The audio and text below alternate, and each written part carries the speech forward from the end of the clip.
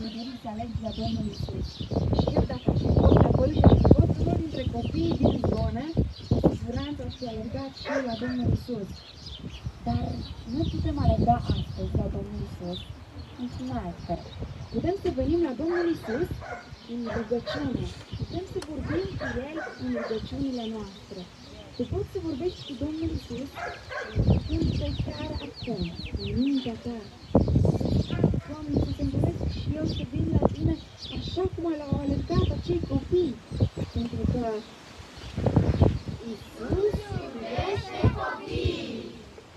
Ei bine, într-o altă zi, oamenii uh, au mers totuși după Domnul Isus și a fost una din acele zile în care veneau bolnavi la el să fie vindecați.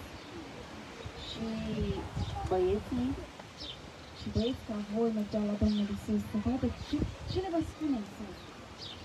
Ei bine, au stat atât de mult și au ascultat ce le spunea Domnul Isus. Nimeni nu vorbea, toți făceau liniște și ascultau cuvintele Domnului Isus.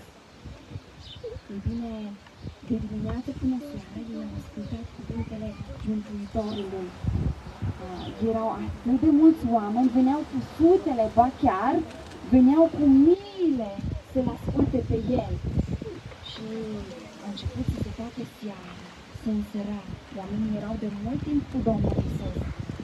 Deja simțeau că li se face foame.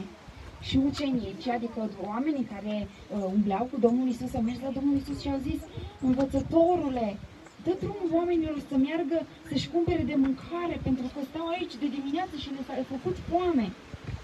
Și ne spune Biblia, cuvântul lui Dumnezeu, că Domnul Isus, pentru că îi iubea pe oameni, le-a spus ucenicilor, dați-le voi să mănânce.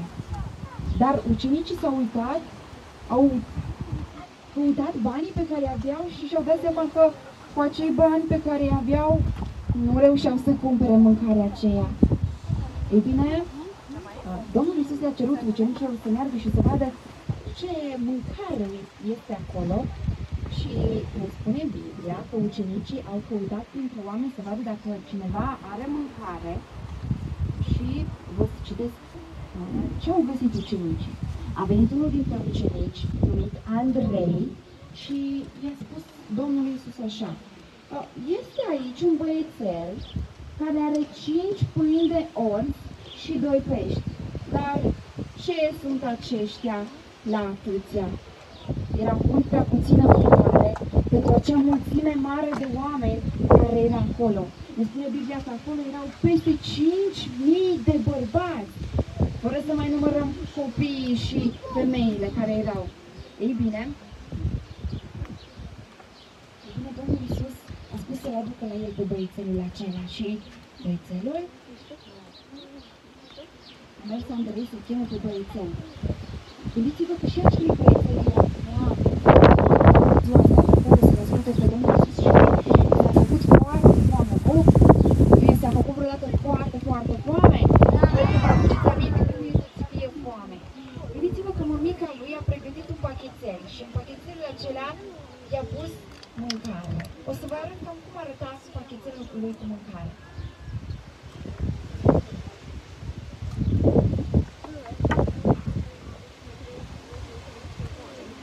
Bine, în pachetelul lui cu mâncare, omul acela, băiețelul acela avea cinci pâini și doi pești. Și mă gândesc că băiețelul acela se uita la mâncarea pe care o avea el și la pâine și la pește. Mămica lui a pregătit mâncarea înainte să plece de acasă și oare, oare va da el mâncarea lui oamenilor de acolo? Oare va merge la Domnul Iisus să-i dea mâncarea lui? Voi ce ați fi făcut în locul băiețelului? I-ați fi dat mâncarea? Ei bine, o să vă spun ce a, ce a făcut băiețelul acesta. Spune Biblia că Domnul Iisus um, a aștepta să vină băiețelul la el. Băiatul a venit cu uh, mâncarea pe care o avea, cu cei doi peștișori și cele cinci pâini. Și bucuros, omul acesta a oferit mâncarea lui Domnul Isus. I-a dat mâncarea lui și mă gândesc că a fost extrem de fericit că putea să fie de folos Domnul Isus, Fiul lui Dumnezeu. Dar și tu poți să fii de folos Domnului Isus. Poate te gândești că tu nu ai mâncare să dai celorlalți, dar ai și tu ceva de valoare cu care poți să slujești pe Dumnezeu. Atunci când tu te ajuți mama ta la treabă, pe mama sau pe tata sau pe bunica, când ajuți la treabă, atunci tu cu mâinile tale îl slujești pe Dumnezeu. Atunci când tu spui altor oameni, altor copii, ceea ce ai învățat aici, când spui altor oameni despre Domnul Isus, că El ne iubește, că Domnul Isus iubește copiii, atunci tu îi slujești lui Dumnezeu cu buzele tale. Atunci când tu chem și alți copii să vină aici, să vină uh, la întâlniri de felul acesta, unde ei pot învăța mai multe despre Domnul Isus, tu îi slujești pe Dumnezeu cu buzele tale. Ei bine, ce putea să facă Domnul Isus cu cele cinci pâini și cei doi peștișori la acea mulțime imensă de oameni? Dar Biblia spune că Domnul Isus a luat pâinea, a luat peștele și spune Biblia că a mulțumit lui Dumnezeu pentru mâncarea aceea, a împărțit ucenicilor, iar ucenicii le-au împărțit celor ce ședeau jos. De asemenea, le-au dat și din pești cât au vrut ei. Oamenii au început să mănânce.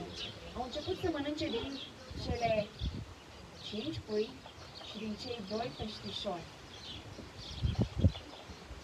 Dumnezeu a binecuvântat mâncarea aceea. Și oamenii au început să mănânce, și au început să mănânce. Și câte o bucată de pește, câte o bucată de pâine, și mâncau, și mâncau. Și s-au săturat. Și au tot mâncat și deja foamea le-a trecut și ei mâncau încă coșurile cu mâncare treceau prin fața lor, dar ei deja erau sătui, nu mai puteau să mănânce. Și toată lumea se întreba, cum e posibil ca din cele cinci pâini și din cei doi peștișori să mănânce peste cinci mii de oameni. Oamenii au văzut aceasta era o minune făcută de Dumnezeu, pentru că Dumnezeu poate să facă minuni.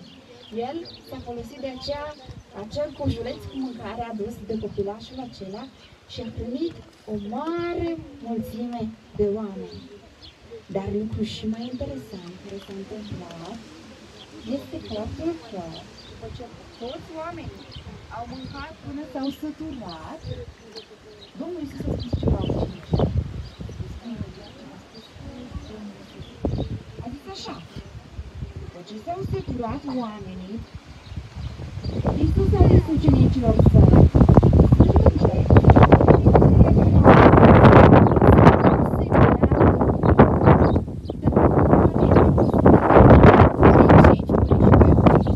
să mănânce peste 5.000 de oameni și să mai rămână și restul de mâncare. Hai să vedem dacă ucenicii au găsit totuși firmituri pe care să le adune.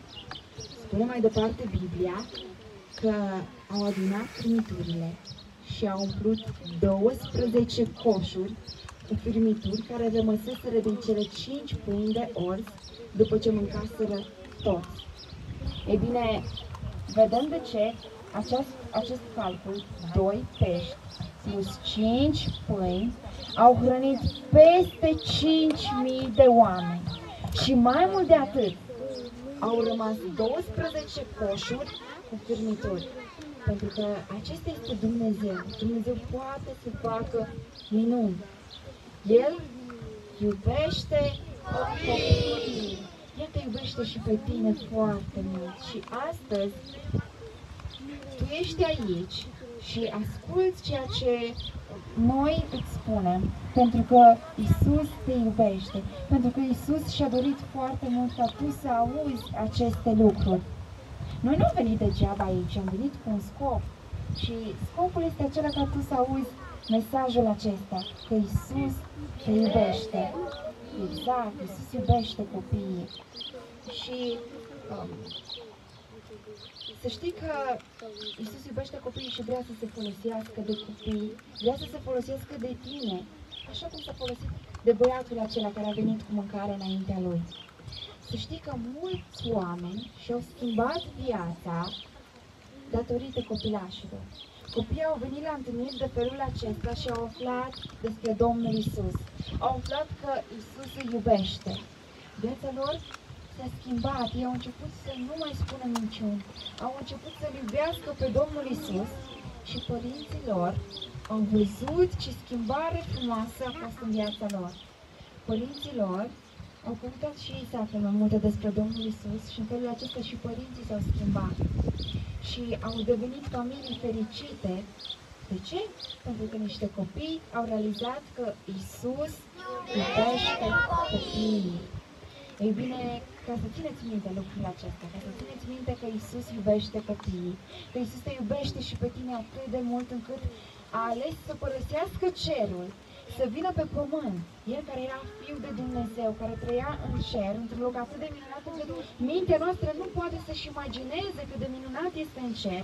Gândiți-vă că Isus a părăsit cerul și a ales să vină pe pământ, să se nască și să trăiască, să fie sărac și să trăiască pe pământ, să crească și la, um, când va fi adult, să oamenii să-l prindă, să îl răstignească pe o cruce, deși el era fără păcat, deși el nu a păcătuit niciodată, oamenii l-au răstignit. El, fiind Fiul de Dumnezeu, putea să poruncească, să se coboare de pe cruce, putea să-i poruncească să fie omorâți toți oamenii aceia care își băteau joc de el, toți oamenii aceia care îl scuipau, puteau să fie omorâți într-o secundă.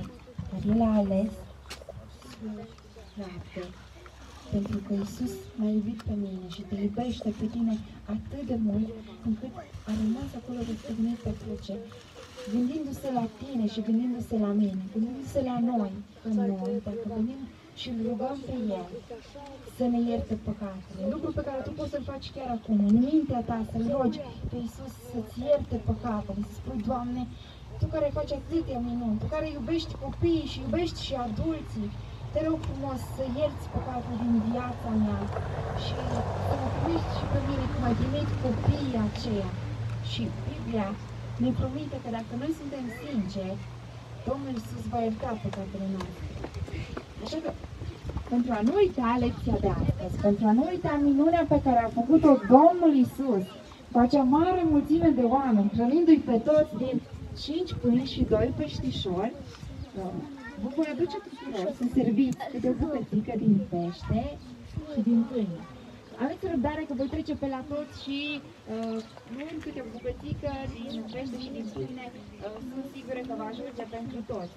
Uh, la noi veți vedea coșul cu care se va uh, termina, dar uh, ne aducem aminte că uh, atunci când oamenii au fost hrăniți de Domnul Isus, la final s-au adunat câte coșuri cu turnituri? 12 coșuri cu turnituri. Haideți să, să mai spunem încă o dată. Iisus iubește copiii. Așa este.